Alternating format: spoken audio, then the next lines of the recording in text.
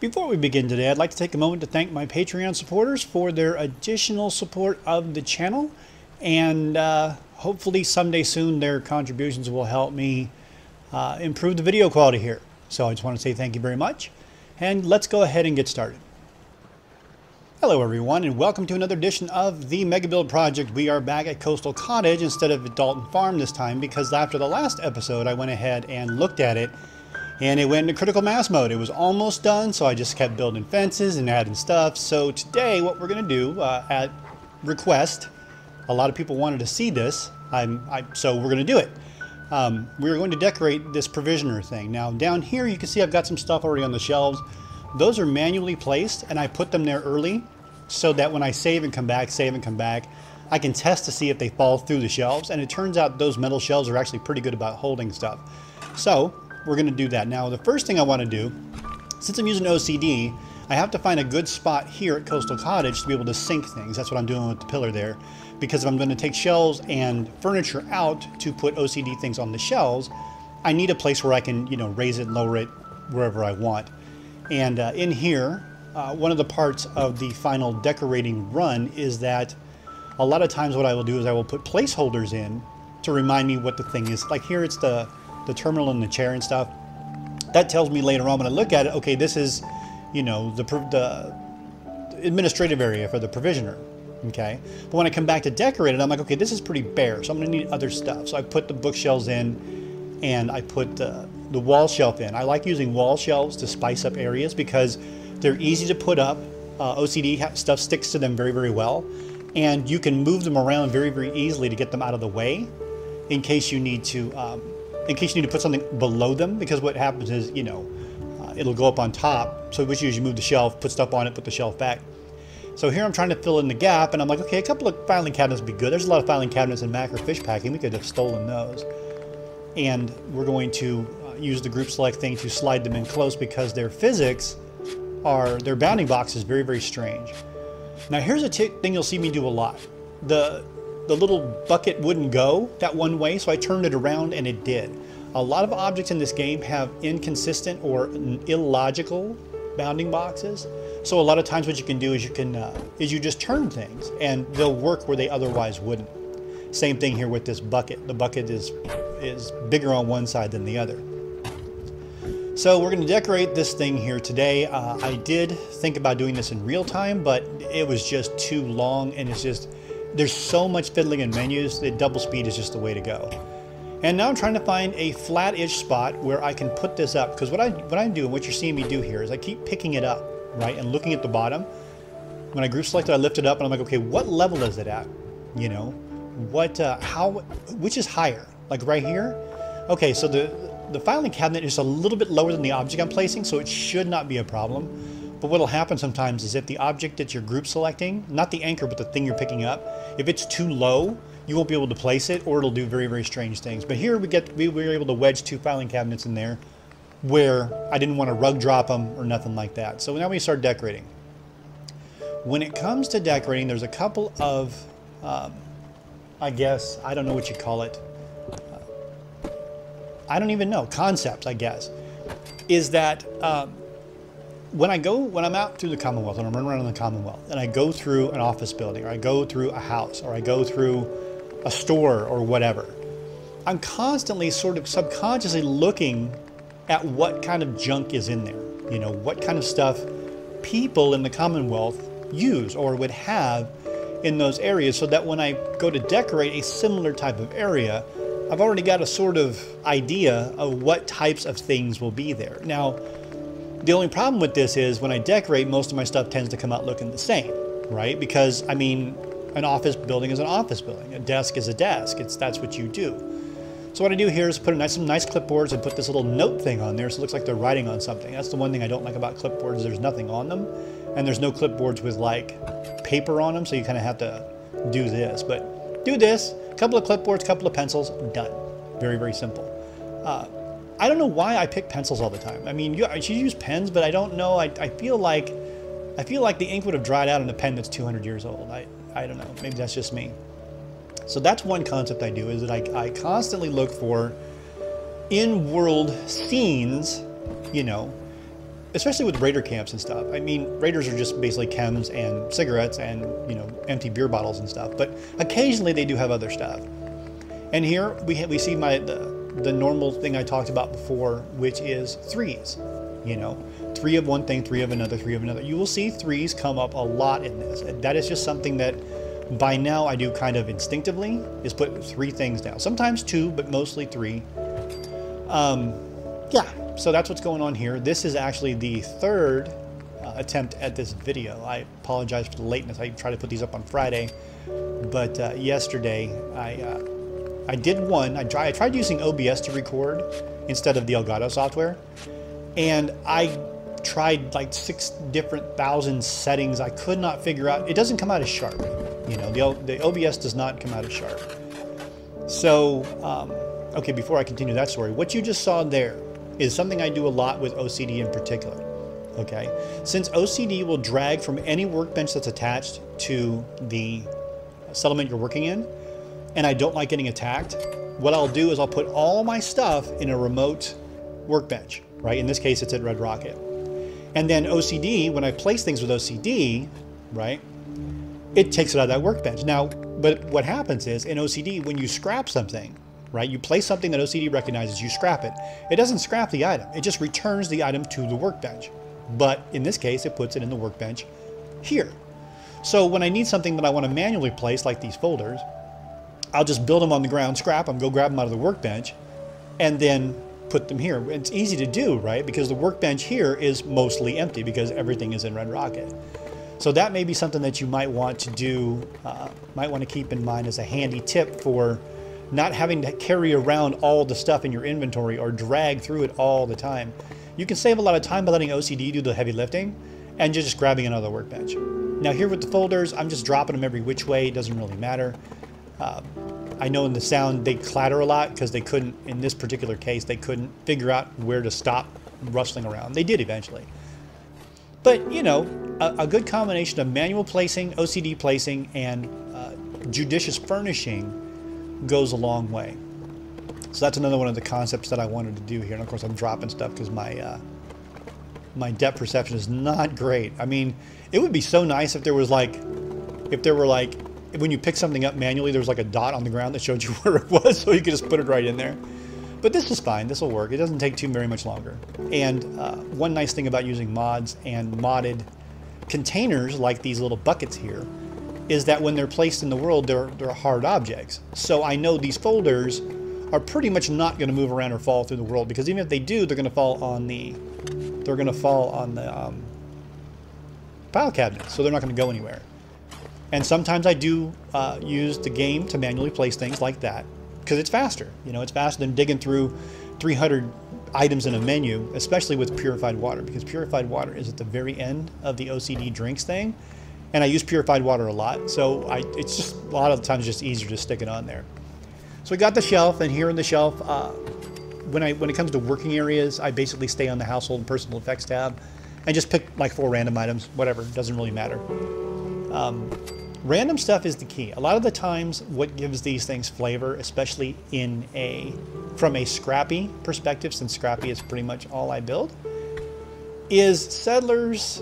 Uh, they when they're in my settlements, when they're you know living in these settlements, they are enjoying a level of quote wealth.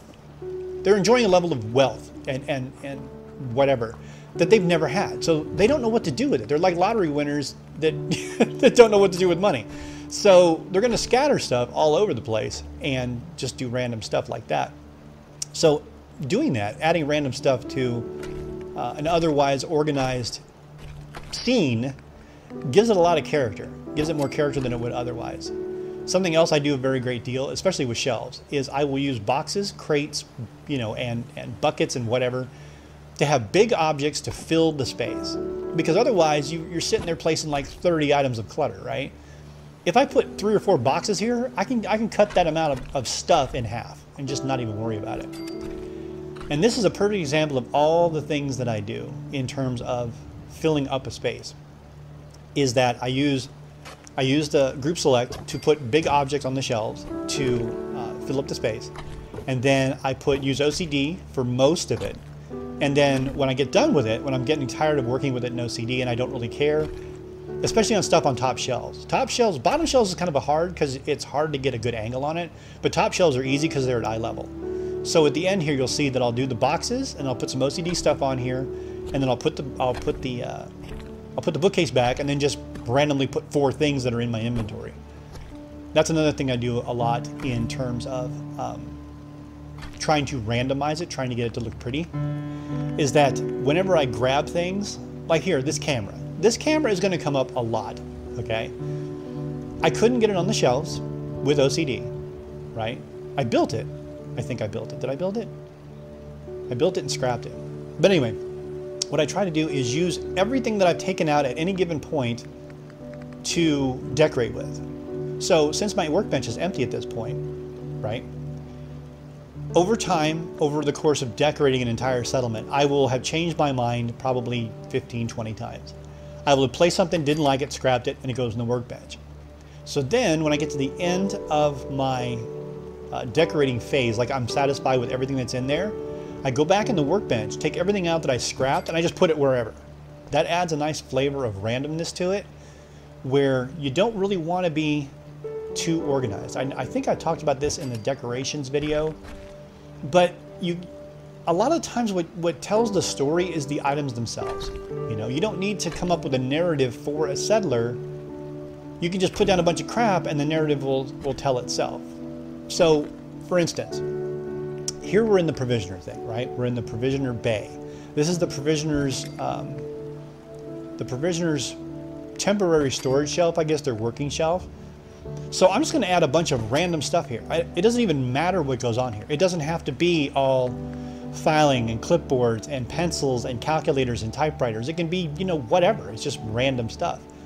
Because that gives the sense, I guess, in hindsight, that they're just taking whatever they can find and sticking on the shelf for later. I'm going to put it up there for later. Now, I don't like the way these things clip into the shelves. I, I wish they did not clip into the shelves, but they do. A lot of stuff does that. The magnifying glass does that. Cigar boxes do that. Screwdrivers, uh, the combination wrench does that. So a lot of those things, you sometimes have to place them manually because otherwise they look kind of weird just sitting there. Uh, I have figured out a dodge for the screwdrivers. I just put any other wrench down and stick the screwdriver on top of it. And since it sinks a little, it actually looks pretty good that way. And I can't get this thing to work, so we're just going to call that bad a bad idea. No, we're going to keep we're going to keep plugging away at it. I want to stack of two, but you know what? One is fine. But yeah, here you go. You, you can see the threes, right? On the bottom shelf, telephone, magnifying glass, typewriter. On the next shelf, rat poison, clothes iron, two cigarettes, a cigar, and a brush. Two times three is six. I, I don't know. It's just that's what looks right, you know, I guess. So, yeah, that's that's the concepts behind this sort of thing. The the key, I guess, if you if I could just have you take away one thing from this is just is to not worry too much about getting it perfect. I know there's that good enough thing again, right? But it's it's true. I mean, they're settlers. They don't have an organizational system. You know, anything that they have of value is going to be on them, right, or put away. They're not going to want anybody just you know wandering around grabbing their stuff. So the stuff that's on the shelves, the stuff that's sticking out, is stuff they either have not processed yet or they don't care about. And in this case, this works out pretty good. So, okay, we've done four shelves, right? We placed what 12 items? Yeah, we placed 12 things, and the shelves are full. In the past, I would sit here, I would sit here with this thing and I would have put, I don't know, 15, 20, 30 things, but it takes so long and you really don't need, a lot of the times, less really is more, you know? So we've got a little space on the top, need to break up, need to break up that visual line so it doesn't look so empty. It doesn't make sense it would be this empty with this much stuff in the provisioner thing, right? We got to put some, something up there. So we're to give them a box and a vase, and then we'll stick a uh, little vase for uh, for a little visual uh, little visual variety. And that box does not want to go up there. And then, of course, a radio. Because, I don't know, I just it seems like the settlers would like radios. You know, they want to know what's going on in the Commonwealth. They want to know the news even though they can't go anywhere. So there we go. There's our shelves. Now we got, uh, now we have an empty shelf to fill and we're looking around going, okay, what does this need? And that's another thing too. At the end of a set, like I've got an area almost done, I'll say, okay, what does it need? So I'll look around and I look what's missing, right? Now, here's that camera again. I want to put that camera on the shelf. I have not yet realized it's too big. So we're going to do three clipboards, a camera, some money, and one more thing because we need three. We need threes, right? It's all about the threes, man. Okay, an empty vase. Sure, why not? And I'm looking for another thing to put on there, and I'm like, you know what? Nah, we're fine. Okay, we'll do seven. We'll do seven because in the back of my head, I know that that camera's not going to fit. So it's going to be six anyway, right? So okay, let's go back to uh, let's go back to here. Turn the light on, drop stuff on the floor. Another thing to keep in mind when decorating is tight spaces are very difficult to deal with. Many times you'll need to move your furniture from where it is to outside to get it um, to get it to work, right? To be able to work on it without going blind or you know figuring stuff out. And uh, how am I going into build mode? Oh, I'm standing things up. So you know that trick, right? When you drop stuff on the ground, go into build mode, tap it, it rights itself, and then you can just pick it up a little bit better. A lot of times too, I will crouch. Oh, there's one right there. I will crouch, so it's at eye level when I pick it up. Makes it a lot easier to get close to it, and uh, I find that being closer to the object gives you better depth perception. See, I didn't do it. I should have crouched. There you go. Crouch, get close, pick it up.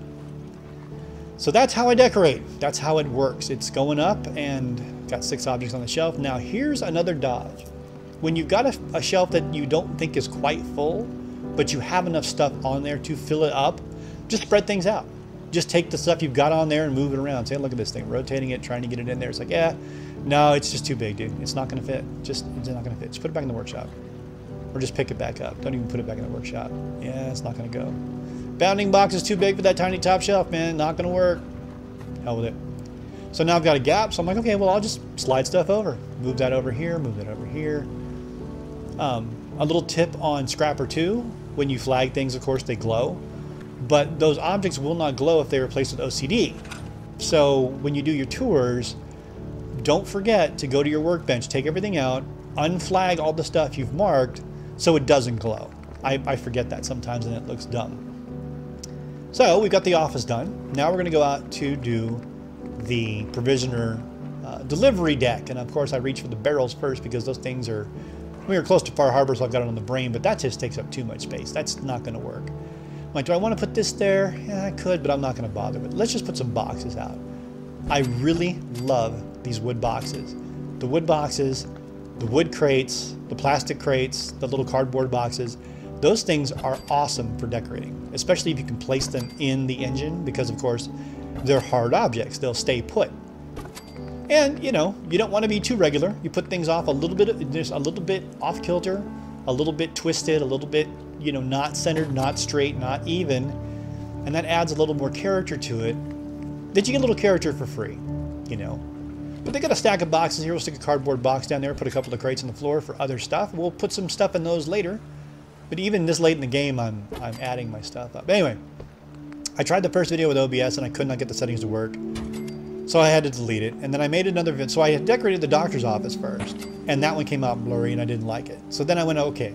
So I decorated the guard's office with some different settings and it corrupted my, and for some reason it corrupted the video. So this is the third attempt at doing this. So the guards, right now, the guards' offices are decorated, the doctor's office is decorated, because I turned that the building with the chem station into a doctor's office, because it just, it made sense. Doctors always have chem stations. And now I'm thinking, okay, I need to fill that gap between the two sets of boxes. I'm gonna grab this table, and uh, okay, so I'm not gonna bother with this very much. I'm just gonna fill this up with boxes. I'm like, hey, I like this little box. Let me find a place for that a lot of flitting around in decorating mode too. A lot of going back and forth as things occur to me or I get new ideas or whatever. So this box is going to have the small valuables on it. So we're going to put a tool chest on it. We're going to put some ammo on it. We're going to put some uh, we're going to put some uh, Stimpak boxes on it, and then we're going to just drop some random crap on top to fill it up. Um, another tip for decorating and making things look quote making things look sort of real, you know, making it look convincing is to put things on the floor. Okay? It doesn't have to be a ton of stuff. I'm guilty of this a lot. Um, but if you look at this shelf, right? This is a shelf. It's like they're using it for storage. Okay? So they're going to have stuff on the floor. They're going to be putting stuff under the shelves. But the thing is, when you put stuff, when you put the shelf down, right? OCD won't work underneath it. if you put the stuff on the floor first, sometimes, a lot of times, the shelf will not go on top of it. So uh, it's always a good idea. It never hurts to when you've placed your shelf or table or you know whatever the thing is, and this goes for bottom shelves as well. Take a little extra, take about 30 seconds, take a couple things out of your inventory, drop them on the ground, and just throw them underneath there. They don't have to be straight, they don't have to make sense. There just has to be something on the floor so it doesn't look so empty. So it looks haphazard and scrappy and not um, organized, not completely put together like they were in a hurry to get, you know, defend the farm or, or whatever, get back to work. But see right here, I've got six containers, two threes, and it fills this shelf up almost perfectly. So I'm going to put some stuff here on the bottom shelf, and I realized that since I've got ammo boxes here and I've got a lot of missile turrets, I'm going to need some missiles. So we're going to put some missiles down here. Are we going to do it? Yeah, we're going to do some missiles. Drag it in, put it up. Now the missiles, unfortunately, do not stack, and they do tend to sink a little bit into the shelves. So this is where, again, the combination of OCD placement and manual placement makes it look more convincing than it might otherwise. And I'll, I'll show you that in a second when the shelf goes in. So okay, the shelf goes in. We don't need to do any fancy group selecting because it will fit. We'll just take it, we'll slide it in this empty gap and put it there. Now we've got some crates and boxes on there. Let's go grab those missiles. Boop, boop. And we'll go stick them on the shelves. Again, floor drop. Now be careful floor dropping a lot of stuff in tight spaces. That's going to come up here in a minute. I remembered that because uh, there are certain objects I do like uh, shovels and hoes and stuff, and they just go flying around everywhere. You get the same thing when you when you ground drop uh, like um, super mutants, they're boards or pool cues if you've dropped like three or four of those at once, you'll see that they just go flying everywhere, man. I don't know why they do that, but you got to be really careful about dropping things in tight spaces. Drop things, you know, two or three at a time. And out here, of course, clipboard and pencil because it's the inventory place. Sure, they're gonna have a clipboard. And what else? We're gonna fill these boxes. What are you gonna put in these boxes? Eh, we'll put some water in here. Now they go all the way to the end. I, I really do wish OCD had separate categories for alcohol beverages, Nuka-Cola beverages, and then bottles, empty bottles, and miscellaneous. Because, I mean, scrolling through 60 items to get to this thing, I'd rather just drop down two menus and go, but whatever. So, put some purified water in here since they're probably producing more. Purified water is something that I put in almost every build because, I mean, that's... The Diamond City Guards brag about it. We got purified water. It's like, yeah, I got purified water too. I got lots of it. So here I'm reading the side of the boxes, and the boxes hold 762. So we're going to put 762 in the top. It doesn't make any difference, but it satisfies my my need for my need for consistency. Since it says 762, it's like, well, they're 762. Now we're going to dress these up with some extra chems that couldn't fit in the box, and we're going to put what two Med-X in a Stimpak, which is three. Again, three, three, and three, because three just it makes it look right. I don't know. So yeah, a combination of uh, ground drop and OCD and whatever. So now these boxes look kind of naked. So let's just put some random stuff down. Let's stick a barrel, let's stick a bucket there. Now that I got the bucket out, let me stick a bucket over here too. Why not? Maybe they're using the bucket to wash off. Maybe they're putting water in the bucket to wash off stuff that's coming in. That looks dumb up there. Let's put it down here. There we go. That makes sense. And since they're washing things off, well, what are they going to need to wash things off? They're going to need uh, a dish rag or a napkin. But first, we're going to try our mystery. Oh, look at that! Fit in the box. Again, you saw it wouldn't fit in the box right away, but you spin it, and sometimes there will be a way where it will drop in. So I'm looking for my dish rag. I can't remember where it is. There it is. It's in kitchenware. So put that, and of course, not one dish rag, but two, because we need two dish rags in a bucket to make three. And now we're looking at it. It's almost done. What is it missing? Well, I need to put something in those barrels okay? Because the barrels are there for a reason. But what reason is that they're holding stuff? What are they holding? I'm like, ah, uh, trying to think of an item that's tall enough that I can stick in there, right? I'm like, wait a minute. I'll just build them and stick them in there manually. Let's do that. Since the barrels will stay put, let's do, oh, hose. Yeah, I like hose. Haha, I like hose. The hoe, however, unlike the brooms and the shovels, has a very, very strange bounding box. It's like in the center, but it's sort of off to the side, and it's really huge. Now you see I just dropped two brooms, but there was only one here, right? Because there was no room for it, and it fell down under here. This is why, this is where you, you know, when you drop things, just drop one thing at a time, especially when they're big like this. But we're just going to start putting brooms and hoes and shovels in these in these barrels because they'll stick up and look pretty cool. I did this way long time ago in Taffington, in the, uh, the mega in the Taffington Mega Build, and of course, if you can, get it mostly in the barrel before you drop it.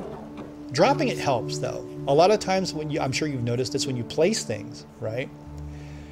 When you place things on the shelf and it's and it's sitting on the shelf when you drop it, it'll vibrate. It'll kind of shimmy a little bit. Um, and what happens is if you leave it like that and come back, sometimes it'll shake itself off the shelf and blow things all over the place, like like when you when you touch a car and it vibrates and kills you. It's the same sort of phenomenon, I think. What you can do to avoid this is always drop it from a slight height. Let it land on the surface on its own. The game figures it out a lot better that way and is much less, it's much less likely to shimmy. We're going to stick some shovels in here, and of course I forget my own instructions. Of course I learned that right here, is that you, you got to be really careful about putting stuff down on the ground. But we're going to drop some stuff here, and again, there are two brooms and a shovel in one barrel. And there are going to be two shovels and a broom in the other barrel for three. So, yeah, three. but that's all there is to decorating. I mean, we're getting we're getting close to being the end. Now now I've got three things in my thing. I'm like, okay, I got stuff in my inventory. I need to put it somewhere. Let's just drop it on the floor. The camera, we'll just stick it on the shelf. We'll stick it on the floor on the bottom down there to make sure it's doing its thing. I'm looking in here to make sure there's nothing else I need to add in here. And I'm like, do I need to add anything else in here? No. Do I need to put a rug down? Uh, probably not. Let's just drop these hoes down here and we'll just jam them in. Ah, they'll fit over here. That's good enough. Maybe they fell out of the boxes, the sellers didn't care, or whatever. And I gotta say, too, uh, something else I learned from uh, having all these dogs wandering around and having a bunch of freestanding stuff on shelves. The junkyard dogs you get out of the cages, they don't seem to knock things off shelves. I've had them running around inside houses, they've been brushing up against shelves, and for whatever reason, they are very good about not knocking things off shelves. So that's one thing maybe you don't have to worry about. And are we done? Uh, yeah, I think so. Okay, so here we go. Here is 40-ish minutes of decorating. It takes about, so you, when you look at settlements, when you look at my, my stuff here, and you look at a decorated area, you can assume that it took about 45 minutes to an hour to do every area, depending on its complexity, depending on how much stuff there is, depending on how many shelves and flat surfaces there are. But this looks pretty reasonable for a provisioner thing. You know, they've got some supplies, a bunch of random stuff kind of stacked up haphazardly. They've got some stuff sitting out because they haven't worked on it yet. There's no room in the bin or they haven't gotten rid of it. They've got their little record keeping stuff. They've got barrels for the long stuff. And that's pretty much all we've got for this one. I hope you enjoyed this and I hope this is what you were looking for. I want to thank you all very much for subscribing and watching, and I will see you in the next one. Take care.